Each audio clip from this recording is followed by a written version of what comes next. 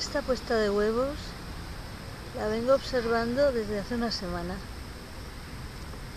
Y hoy por fin veo las larvitas saliendo de los huevos.